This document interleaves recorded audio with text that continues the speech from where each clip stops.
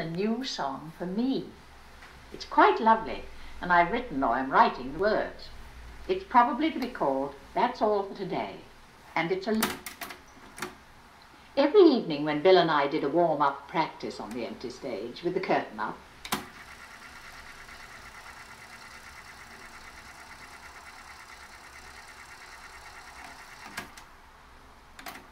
Uh, it isn't a theatre-minded town, and interest in a new show was difficult to arouse. I was prepared for this, but not for the forlornness of the misnamed Pleasure Garden Theatre. Drafty, in need of paint,